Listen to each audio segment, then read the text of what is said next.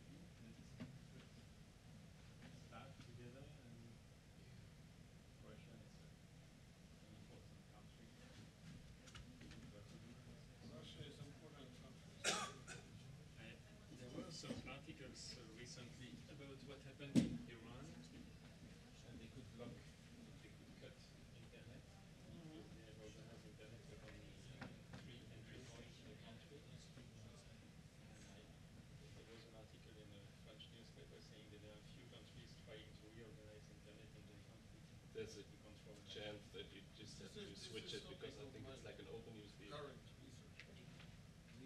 Doesn't matter. Just use But because it doesn't have the metal around it, you can just switch it and then it works. Because it only has context. Ah, just use this one. Okay. I think I will prepare a stick for following presenters. I don't know, there is too many stuff that I need to have to do right now here we are to, here we are to prevent this. Yeah. And I think uh, we will prevent this. Sovereignization.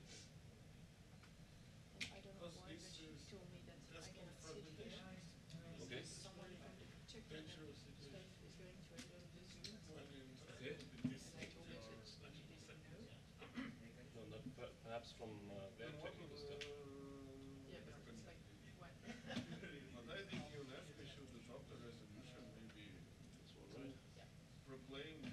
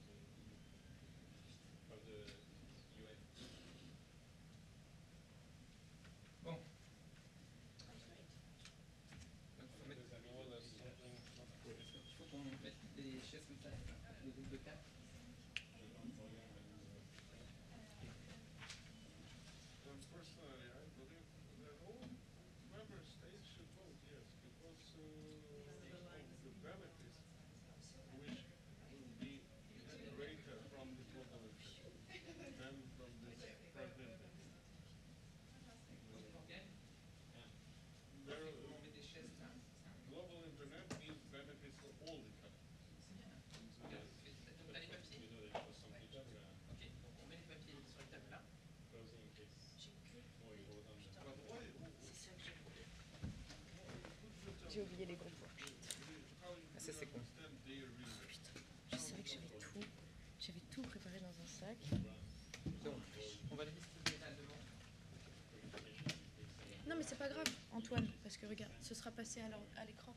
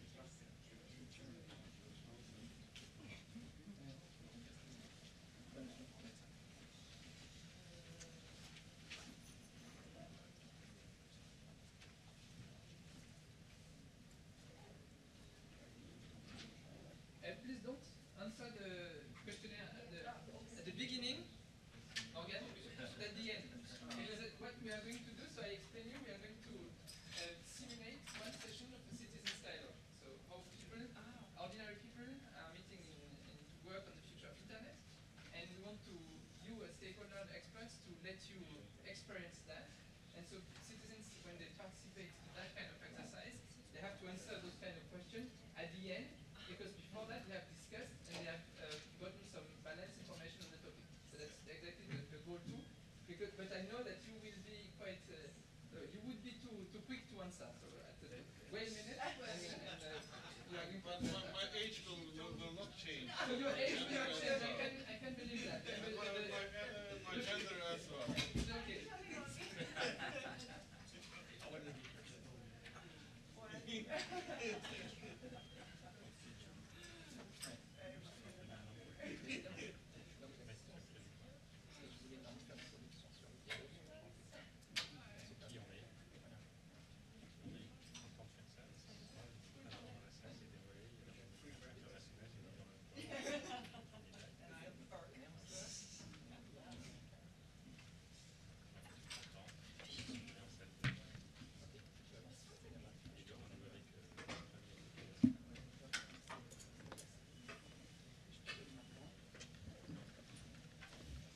편지가 중요해.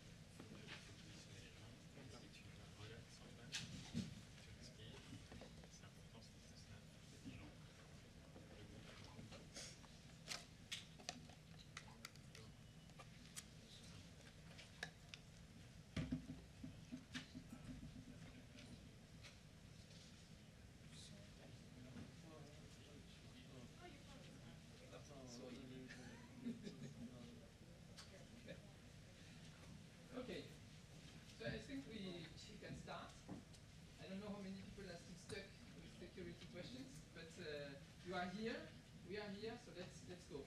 Um, welcome um, to IGF. I suppose it's your first workshop session, is it?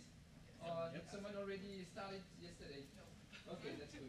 Uh, so, so welcome. it's not uh, the official welcome, but it's our official welcome. Um, I am Antoine. Um, here you have Morgane, she's going at the back, uh, and we have Benoit here from our team, and Yves who is leaving. So bye Yves. You're not leaving, you're still here. Okay, that's good.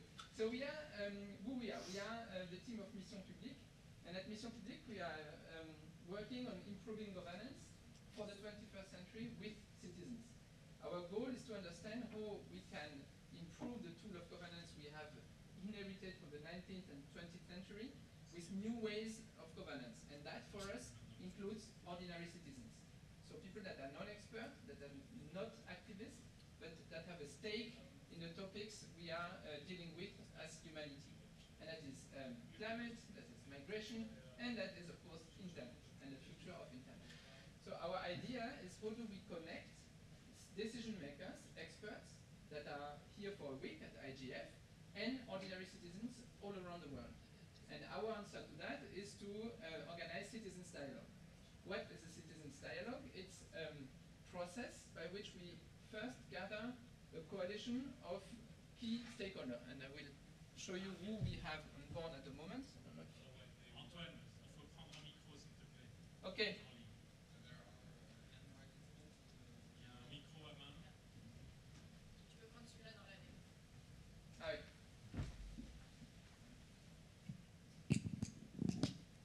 Here. Okay. So um, I will show you who is on board of our coalition at the moment.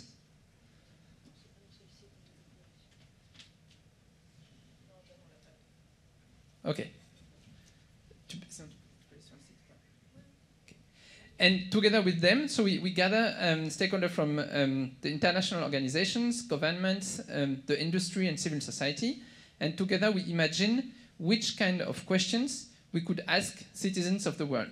For which big questions and stake, stakeholders want to have answer from citizens, but not answers in the way of an opinion poll, but something more qualitative, more informed, and more structured. And that's the second part of our process. So when we have a coalition and we have gathered some topics, we organize citizens dialogue. These are groups of randomly selected citizens or citizens that are selected so to be representative of their country or region and that have uh, no experience in the topic. So that's really important for us. But they have uh, gender, so we have 50% uh, men and 50% women in those groups. We have all ages, we have all backgrounds in terms of education and, and jobs, and we put them in a room. We put them like today, um, and we give them some information, balanced information on the topics. So, for example, on the future of internet, this year we have worked on disinformation, digital identity, and internet governance. So we gather information, we gather different opinions, facts, and information on disinformation, and we, we write and prepare that so that citizens can understand that and can understand the different positions that exist in that discussion. Then they are working, they are going to work during a full day, so that's a full day meeting, face to face, and they work like, like you are going to work um, on those topics during, throughout the day. And at the end, what we have is this, what we call the informed opinion of citizens. And that we bring back to decision makers and stakeholders in the process. So that's what we are going uh, to do this week. Um, we have been preparing that, launching that project in 2018, and we have had in 2018 a series of 12 preliminary discussions. And those preliminary discussions were groups of 20 people. We asked them in a very qualitative way what do they think uh, internet is and should be. And we have here uh, our partner from Russia from last year, Andrei, uh, who uh, organized the, this preliminary discussion in Russia. Um, and based on those results and the discussion with our partners, so you have here our strategic partners, uh, we decided this year to run five uh, workshops um, on specific topics. The first step was without specific topics. The second step in October this year, these were five groups of more or less uh, 100 citizens um, that worked on internet governance, disinformation, and digital identity. And now we have the results uh, of that coming uh, now, and that we are going to present throughout the week. For today, we were thinking of uh, doing it a bit differently. Um, we are going to um, propose you, we propose you to uh, play or to uh, go through one of the sequence of uh, the citizens dialogue. That is what citizens experienced around the world. And when I say around the world, we had those five groups were in Japan, in the Rohingya refugee camp in Bangladesh, um, in Rwanda, in Germany, and in Brazil. So these were the, the five groups for this year. Um, we have tested the, the protocol and the, and the topics. Um, the goal for us uh, next year is to scale that process to 100 countries.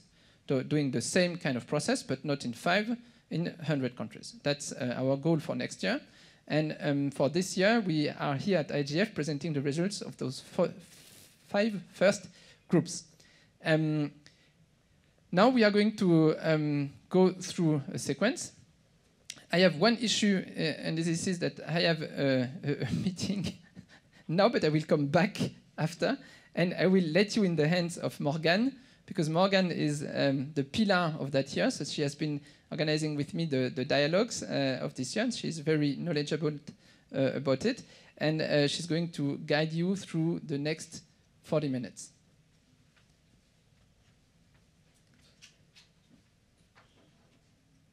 Hello, everyone. Uh, so as I can see, we are 16 in the room, so it makes four groups of four people. And I propose that we work this way for the next 40 minutes, if it's okay for you. Do you want to make your own groups, or should I decide? Maybe you can turn Yeah. the people that are in the first row the Yeah, but maybe they want to do it themselves. Okay. because they are Sorry. grown people. uh, otherwise, I, I cut. It's the way you decide. If you could try to have uh, gender equality in the groups, would be great.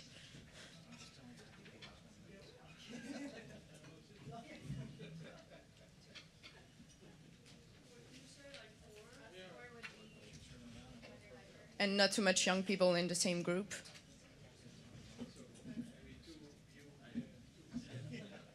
Yeah, this is perfect.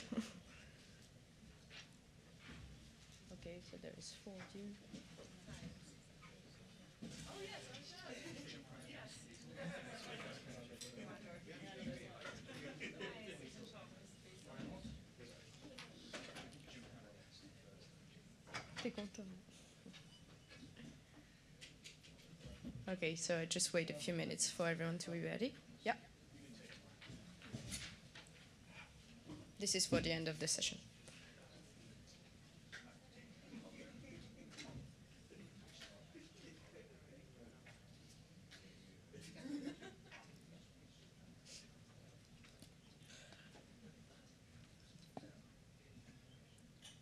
Okay, so everybody seems to be ready. Uh, this is working. Um, so the session four of our protocol is a session on disinformation. Uh, what we usually do during our protocol is that we show some information materials to uh, the citizens, and uh, normally they received also information materials before. Um, so um, what you are going to do, I, I don't know if you can see it. Is it? It's too small. Well, there are other screens there is one other screen there. Otherwise, I can just also read the, the questions. Um, so as you can see, you received an individual questionnaire. So at the beginning of each sequence, uh, citizens received both a group worksheet uh, for their table and an individual questionnaire for, for each people. Um, so now you're going to work as a group, and I'm supposed to be completely useless during 40 minutes. Um, so the first question is, do you feel exposed to a lot of dis disinformation? Um, the way it works normally during uh, the, the protocol is that there is a facilitator at each table, which is supposed to be writing down uh, the discussion between the participants. Um, I'm going to ask you to uh, elect someone in your group to be the, the facilitator and the, the script. Um, but then you can just go through the questions, and if you have any questions, then I'm here. Um, but the idea is really for you to discuss as a group on the topic of disinformation. Uh, you can write, uh, I can give you actually a blank sheet. Yeah, I'm going to give you a blank sheet on where you can write it down.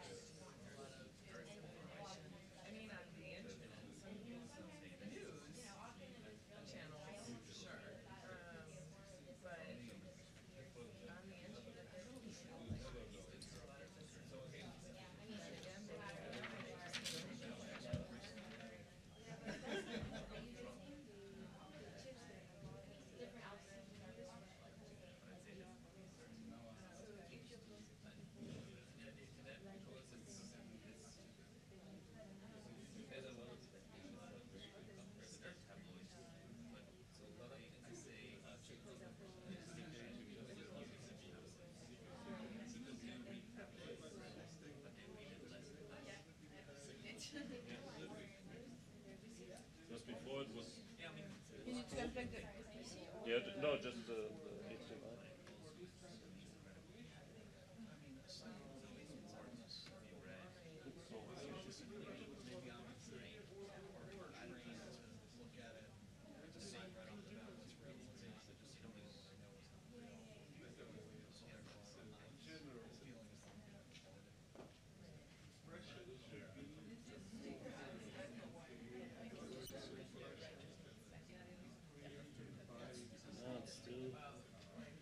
Still need it? Uh, Should be this one. no, uh, I, I think I've copied it. Okay, I just did it. Okay. Yeah, it's moving a bit. but- Ja, we're, we're checking. Ähm, so, ich hab dir mal gerade deinen ausgesteckten wahrscheinlich gesehen hast. Assistenz sind noch immer.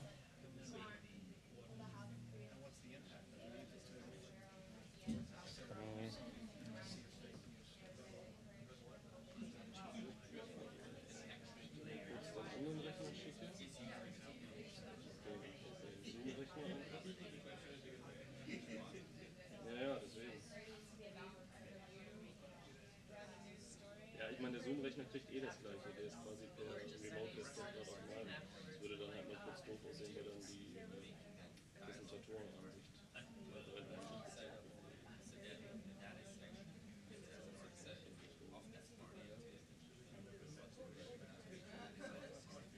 Ne, ich würde jetzt hier mal kurz vorne am umschalten, gucken, ob es da irgendwie. Weil es ist ja quasi der, der Input gerade, der vom Image-Pro kommt. Mit den zwei Quellen.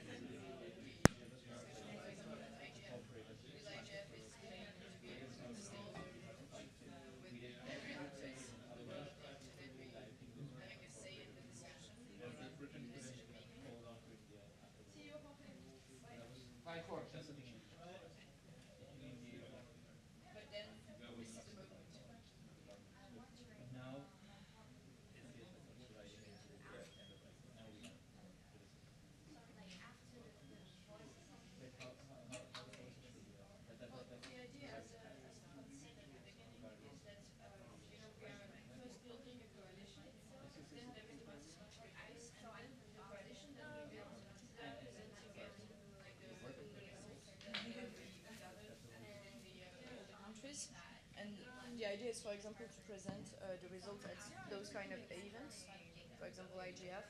Uh, we went to Rodin before, and um, we have also a few governments uh, in our uh, in our coalition, so they are using it. And uh, everything we are producing is also on open data, so any researchers can use it. And uh, so we are working at the global level with uh, our coalition, but we are also working at national level with our national partners.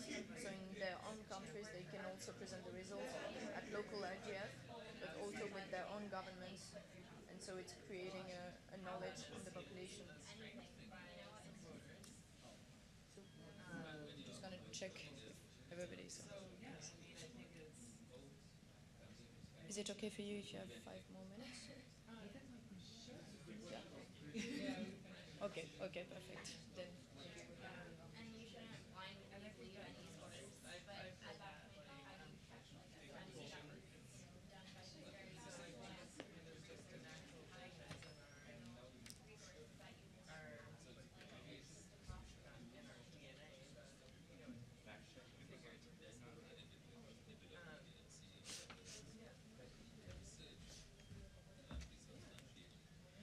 Uh, for those of you who are finished, you can fill the individual questionnaire, and then we are gonna make a plenary session to discuss about what you did for 40 minutes.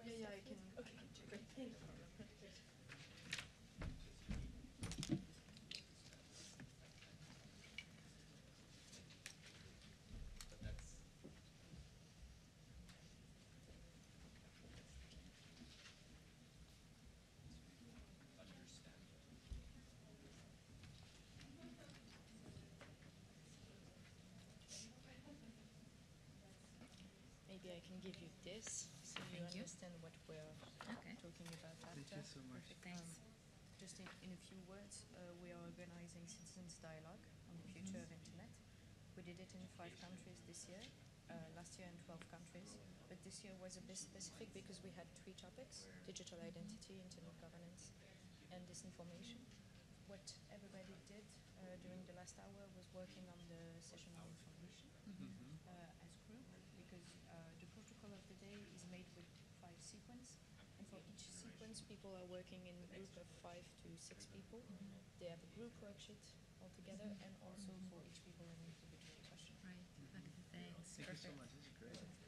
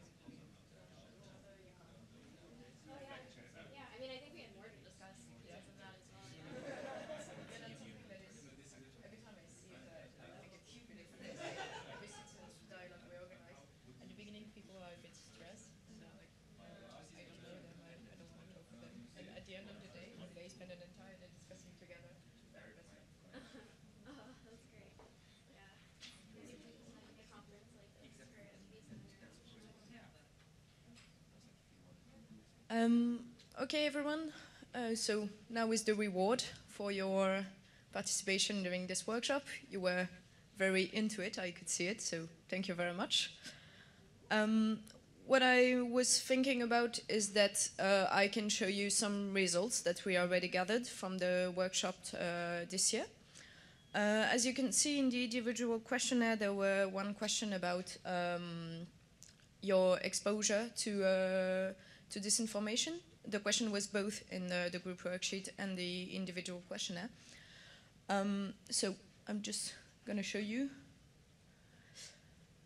how problematic is the spread of disinformation. Um, as Antoine said earlier, we had workshop in um, five countries this year: uh, Japan, Brazil, Germany, um, in the Rohingyas refugee camp, and I'm forgetting one. Rwanda, yeah, of course.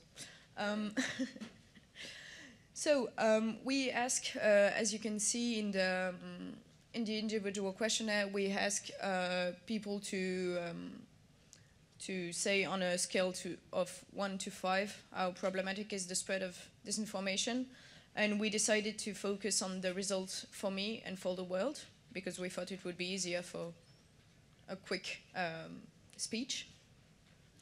Um, is there anybody that wants to react um, on uh, those results in comparison of what you you wrote on your individual questionnaire?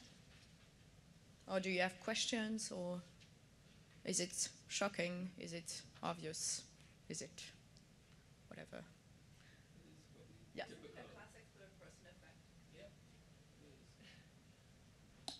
I would simply say it's a third person effect. Um, that we all seem to think very uh, very confident about our own situation. Like advertisement has no you know effect on me, but everybody else is. It's kind of the same kind of thing. It's like this uh, dissonance, right? It's a classic third person effect, I would say. Um, the the funny thing about this question is that it's coming in second place after um, uh, the level of exposure. I think for, for this question it was really obvious when we watched the result uh, that people felt very confident about their ability to spot disinformation, but when it came for the world or for their countries, then the the percentage was very low. But uh, the uh, interesting part for uh, this question is that, uh, for example, in Brazil, uh, the the spread of disinformation, I think it's why the very problematic part is so high because in Brazil it was really uh, difficult for people, I would say.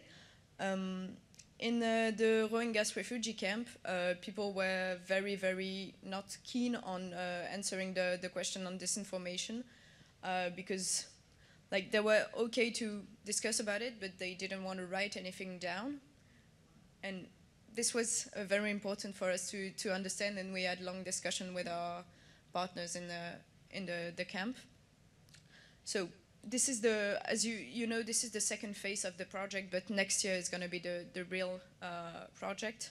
So this is giving us some insight about how do we manage to have an entire dialogue uh, in a all around the world and to have the same protocol in each country, knowing that uh, political uh, situations are very different in different countries.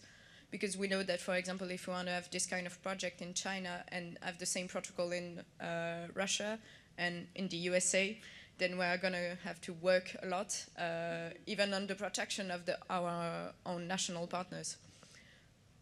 So this was for the, the first results. And Uh, who decides what is disinformation? Who decides or defines what is disinformation? Um, what we did um, to explain to uh, citizens what is disinformation is that we um, made a difference between misinformation and disinformation. Our idea was to tell people that misinformation was, um, how can I say it? Um, like if you do not have a bad intent when you uh, release uh, fake information, whereas uh, disinformation is uh, intentional. Yeah, kind of.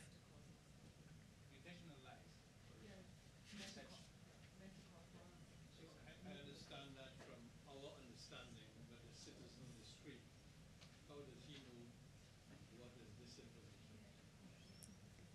How does he decide? Uh, how does it decide? Uh, for example, in, in Rwanda, we had um, a discussion uh, about disinformation, and uh, some uh, some citizens were talking about, uh, you know, the myth that are within the, the community, and uh, how it could spread. But when you really try it, it was just a story with, yeah, it's a fairy tale, and it was a story with shoes and uh, the devil coming into the house if you don't leave the shoes outside. But yeah, funny story. Um, so, as for the, the second results, it's on the the ranking uh, the ranking exercise that you made. Um, so, is there anyone who wants to react uh, to what you did on uh, your own groups? So, as you can see, with we've gathered uh, education, uh, so it's alone. Fact-checking tools is both fact-checking and tools, and uh, regulation and self-regulation is for system changes by company, governments, and uh, both.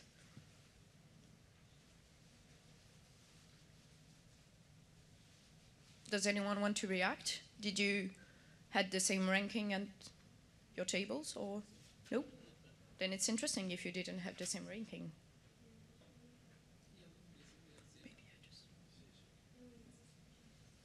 I see that you want to talk, so I give you the mic. Oh, okay, sure. Um, so we had education as first as well. Um, we saw it as you know uh, an increase in understanding in general. Obviously, benefits everyone. Um, we had the other two switched. We had uh, regulation and self-regulation as first because, let's say, you know, a fact-checking tool is like a private entity, right, then you know it would need to be regulated to some degree in order to be accurate um, or reliable. So that's that was our ranking. Did did you want to add anything? Yes. Yeah. I uh, suppose uh, that uh, ordinary people are not competent enough for fact checking, actually. That's why uh, we need to attract uh, maybe non governmental organizations to create more effective tools to for, for this fact checking. And also, this process uh, should be under control of the international community. And uh, as far as uh, Mike is on my own, but uh, I'd like to uh, also thank the organizers and like to have an, uh, propose the idea to create international debates, not in, within the country, but for the people in different countries. That would be a good idea, I think.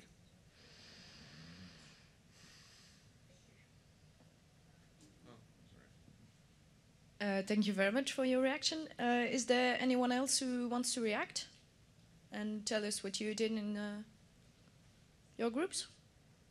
Otherwise, I just randomly hand the mic to someone. We have the same, so. Okay. Uh, what you can see below the education fact-checking tools and regulation are uh, just says from uh, citizens to explain why they decided to rank it this way. Do you want to say a few words on what you did? I'm sure you want to. There you go. Okay, so uh, we ended up with the, the same ranking. So uh, uh, we, we had one person from the government, so e- even that person agreed on having the system changed by the government placed last. So in, in that way, it was uh, uh, fine. I, I- I think like most, almost all of us would have used the same thinking pattern to arrive uh, at these ranks. We ranked education as uh, number one, fact checking by others as number two, tools as three, system changes by government uh, and companies. Oh, uh, co we name it co-regulation as fourth, and system changes by companies as fifth, and system changes by government as the last. So. Okay, so thank you very much to every one of you. Uh, it was fantastic to work with you, and I could see that you were very, very involved in the in the process. So thank you. Uh, I just hand the mic to my colleague for the last few words. So thank you very much. I hope the the experience has been good, and you've seen have a, a glimpse of what citizens can experience in such a, a, a day. Um, I'm, I find interesting to see that there is alignment between what the, the citizens were um, ranking and what you, as experts and uh, people working in that field, are also ranking. So that's good for uh, policy because it means you can rest on those results uh, that have been produced by a group of uh, representative or semi-representative uh, person from all over the world and citizens. So that's a, a fuel for your strategy, and that's how we imagine that. And that's also how we imagine that for next year. So as I was saying in the introduction, our goal for next year is to scale that process to 100 countries around the world. What we offer for that is to support the people and organizers in each of those countries to implement the dialogue in their country. So we give training, we give the information materials, we give the protocol, and we produce all that infrastructure for the dialogue. We also uh, provide coordination. What we need and what we would like to have are partners in the countries that say, oh, that's an interesting process. I want to engage citizens in my country or in the countries in which I am working as an organization to um, discuss the future of internet with the stakeholders and all over the world.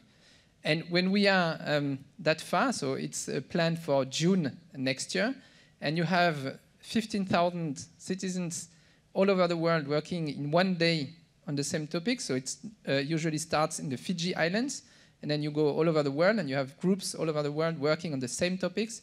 It gives you uh, the chill because it's a feeling of um, humanity working on its own future um, and in the same structured way and having very strong results. So I, what I want to do is to invite you to um, come and see us and tell us, okay, I want to be on board because I want to have such a dialogue in my country. And as a last word, I would like to know is there already someone in the room thinking, oh, that might be something for me or for my country? Please raise the hand so we can see if there is interest in that room or not, absolutely not. So I'm, I, i am interested. Um, ah, yeah, that's very good. Yay, thank you. So come and uh, talk with us. Uh, we also have a booth, um, Missions Publiques. Uh, so if it's not now because you are in a rush, you can visit us uh, at our booth. Um, thank you very much again for your contribution too. We have made that uh, interactive. We wanted to do that. Have a nice IGF uh, and see you soon and maybe next year. Ah, yes, and you can leave that. And Thursday, we have an open forum uh, from 4 to 5 where we present officially uh, more results um, with our strategic partners. So that's also a very nice moment to uh, wrap up uh, the process and see uh, is with us, with us on board and how other stakeholders react on the results. You are invited. Uh, Thursday, Thursday from 4 to 5. It's open forum number 28. Thursday, 4 to 5. Okay, thank you very much.